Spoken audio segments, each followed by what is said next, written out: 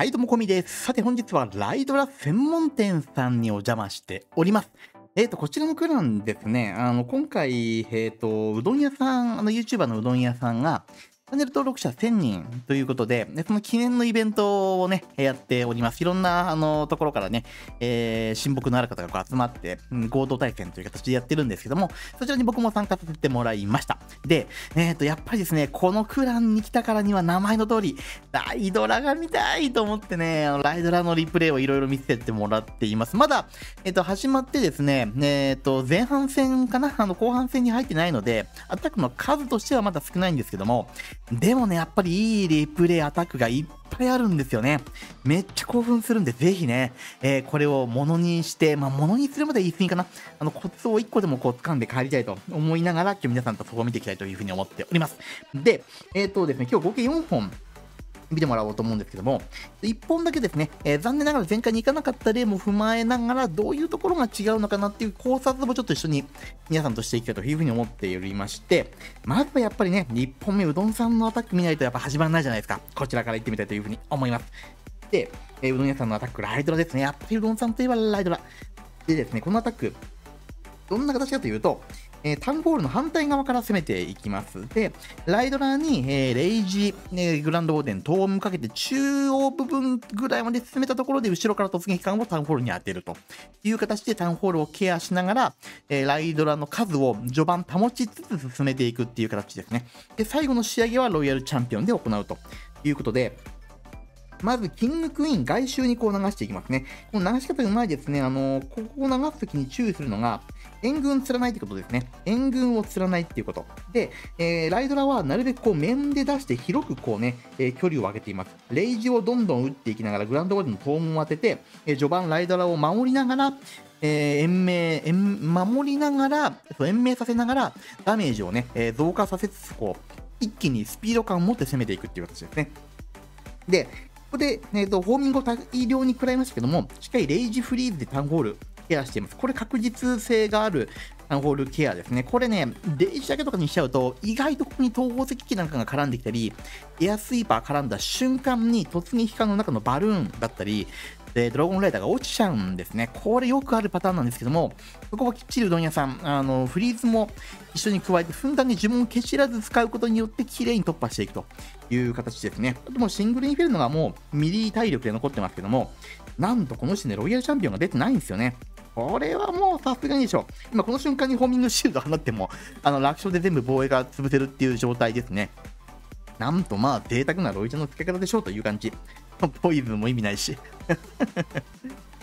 という形ですね。で、まあ、やっぱりですね、あのこのアタックを見て思ったのは、ライドラって序盤だなっていう感じですね。やっぱり序盤いかにばらけてダメージを与えていくかっていうのがめっちゃ重要なんじゃないかなって思うんですよ。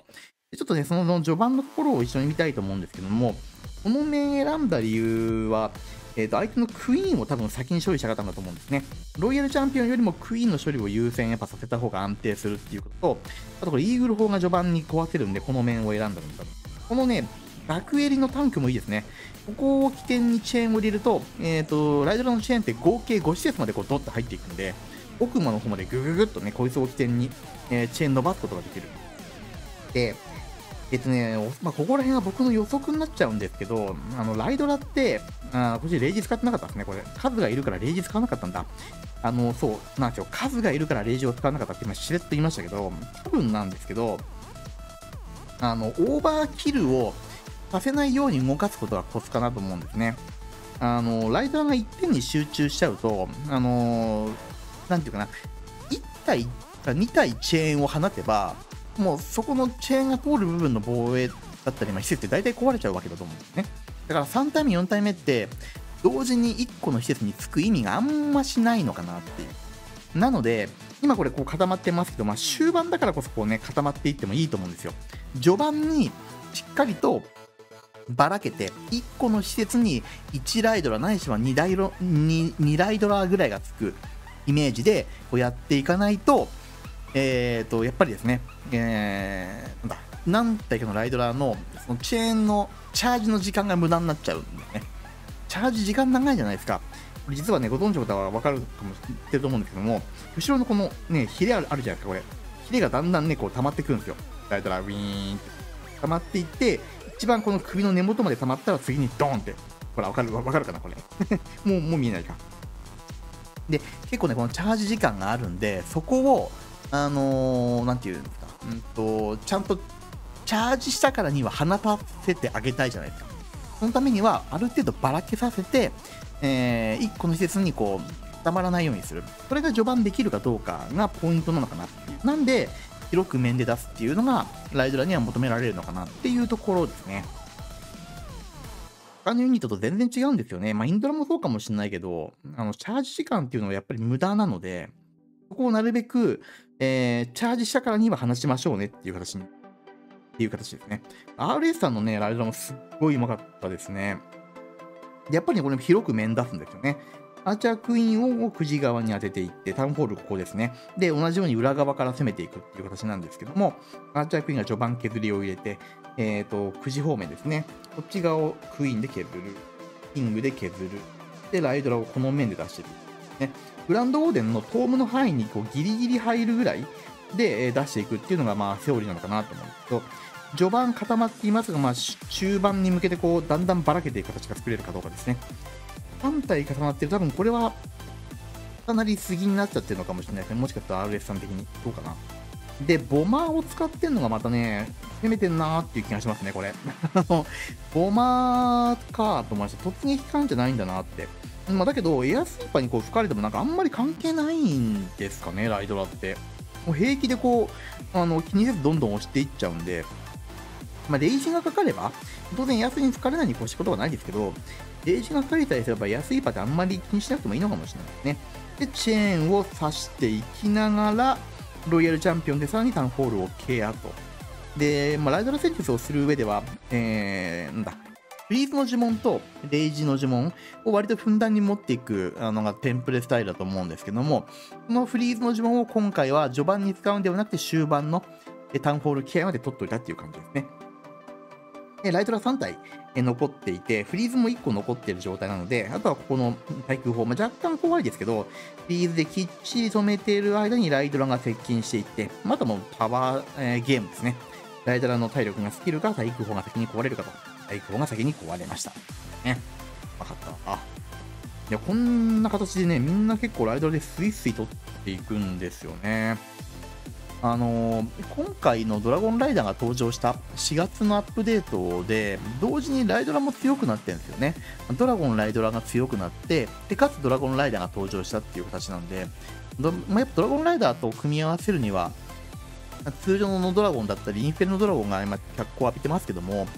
あの実は強くなったライトニングドラゴンって、今のタウンホール14環境にしっかり適応する、できるだけの能力を備えているし、なんなら、あのー、レベルが1個上がる前のライドラですら、タウンホール14で全開取ってましたからね、皆さん。まあ、そういった意味でも、あのー、改めてこう見直すべきユニットなのかなっていう気が、えー、としていますね。この皆さんのアタックを見るとですね。で、えっ、と、もう1個、ハムタンさんかなのアタックを見ていきたいなと思うんですけども、えー、ハムさんのがですね、えー、っとですね、これはエアスイーパーに吹かれないように、確かこのうんと2時3時の方向、1、2、3時面から行くのかな、ライドは確か。だと思いました。やっぱり同じようにね、あのアーチャークイーン序盤に倒せるところの面を選んでますね。あのこちらの、えー、と4時5時面、この面から行くと、ロイヤルチャンピオンを先にケアができる、まあ方向になるんですけども、エアスイーパーに吹かれちゃう、まあ、モロに吹かれちゃうっていうことと、えー、アーチャークイーンが後回しになっちゃうで、こんな形で、エアスイーパーの向いてる方向はアーチャークイーンとキングでカットをしていきながら、エアスイーパーになるべくかかりにくいゾーンからこうね、ヘライドラを突っ込ましていくと。広く出してしっかりトームが全体に乗ってますよね。この今、金山を中心、金庫を中心に一気にヘライドのチェーンが通っていたのがわかるかと思います。2体ぐらいやっぱり作るのがちょうどレイジを使うんだったら、えーと、チェーンの火力的に具合がいいのかなっていうところですね。はい、どんどんどんどんいきます。これ、芝フリーズをね、しれっとしてるんですけどこんなの関係ねえですよね 別に今、ちょっとあんま恥ずかしかった。自分で言って はい、そんなの関係ない感じですね。ページフリーズ、しっかりタウンホールに対しては呪文を3枠分使ってケアしていきますね。このラバーハウンドを釣ったのはちょっと予定外だったのかな。キングがこの壁の中に入ってきちゃったので、あの予定外のラバーハンドだったと思うんですけども、裏からね、ロイヤルチャンピオンが攻めてきていますね。こいつが残った施設に、あとはホーミングシールドをぶちかませば、え前回はもう取れる形になるかと思うので、これでゲーム、えー、ゲームオーバーでね、勝負ありですね。OK。やっぱ最終的にロイちゃん残しておくっていうのも大事ですね。あの、まあ、ライダラの戦術よく言われるポイントが2つ、3つかな。まずはアーチャークイーンの面から攻めましょう。なるべくエアスイーパーをね、えー、と受けない方がいいんですけども、アチャクイをなるべく先に倒したいというのが1つ。で、えー、グランドボディのトームの範囲にギリギリ入る程度の広さで序盤出しましょうということですね。この理由はさっきの冒頭言った通り、えーと、1個の施設にチェーンを集中させないように、ある程度ばらかした方が、むしろ効率的に、えー、レイジンに乗ったライドラの、えー、チェーンが、えー、短時間に広範囲に刺さるということですね。チャージ時間が無駄になっちゃうドラゴンを、え、作らないと。ね、この広さと、あとまあ頭部に入れるっていうのはもちろん、え、同時に守備の面も兼ねてますので、えー、あんまり広げすぎちゃうと対空砲とかね、えー、そこでバンバン撃たれて、えー、ライドランが1体やられると結構コストでかいんでもったないと。で、えっ、と、3つ目はロイヤルチャンピオンを最後まで残すってことですね。あの、チェーンが入った施設って、ロイちゃんのホーミングシールドで簡単に壊れるんですね。ポンポンポンって。で、最後ロイちゃんが残ってると、今みたいに外周部分の施設が残っちゃうっていうケースが、まあ、ライドラ使ってると当然あるじゃないですか。中央からライドラがチェーン入れると外周が残っちゃうんで。外周をユニコーンがついたクイーンと、あとロイヤルチャンピオンで回収しきるっていうパターン。なんで、ライドラが全部消えちゃっても、クイーンとロイジャンが残っていれば、もう、あの、勝ったなっていう感じになれるケースはよくあると思うので、この3点を気をつけながらやっていくっていうのが、ライダルの攻め方をする上でのポイントなのかなって感じですね。今のハムさんのうまかったな。フリーズ1枚無駄になってるにもかかわらずあんな感じで、割と余裕がありましたからね。で、えっ、ー、と、まあ、えっ、ー、と、その出すときにね、あの、あんまり狭く出さない方がいいんじゃないかなっていうふうに言ったえっと、理由になっているアタックが実は、このチーズさんのアタックで、これも惜しかったんですけどね、このエアスイね、ちょっと嫌な仕事をされたんですね。面としてはこの面から出していくんですよ。対空砲2本をこう当て、かつインフェルノ2本、プラスアーチャークイーンが、えー、処理できるというね、ナイスな面だったんですけども、エアスに吹かれてライトニングドラゴンが一点に集中しちゃううんですね。こちらの9時方面に流されちゃいます。ここ見てほしいなと思うんですけども、こんな形で馬のうまいですね。バルーンできっちり黒爆弾解除。で、ライドラを出して、0 1 2個プラストームのタイミングも完璧。トームバルーンとライトニングドラゴンが一気に進軍するんですが、これね、ほら、ライドラが全部、えっと、5体ぐらいかな。みんなこっちの、4体か。こっちの方に誘導されちゃったんですね。で中心部分が薄くなっちゃった。で、こうなってくると、このライドラが投石のダメージをこう、もろに食らっちゃってるんじゃないですか。ゴンゴンゴンって。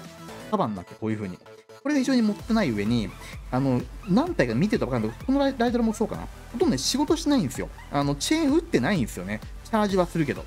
で、そうこうしてるうちに、4体いたライドラでやっとこの、なんていう、9時からこの中心部分まで持ってくる程度の仕事にしかなんなかったとね。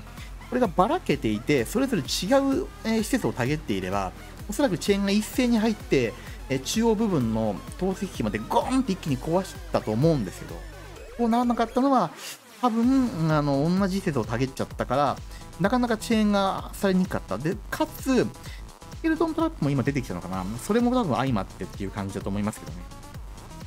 でね、これもね、いや、こっからワンチャンいけたと思うんだよな。思うっていうか、いったと僕は思ったんですよね。これね、ロイちゃん出すタイミングもチーズさんめちゃくちゃ練っていて、アーチャークイーンが中央部に入って、クロスの竹とかをもらい始めそうなところでこう出していくんですね。こうすることによって、ロイヤルチャンピオンとアーチャークイーンが施設のタゲを分散し合うような形。アーチャークイーンユニコーンついてるし体力満タンなんで、一旦この、えっ、と、なんだ、クロスのタゲを受けさせといて、で、相手のババキに対しては、まだ、えっ、と、クロックか、残ってるんで、それでカバーって感じだったんですけど、この投石機、こいつがね、ああ、もう いい仕事をしてくれた、本当に。い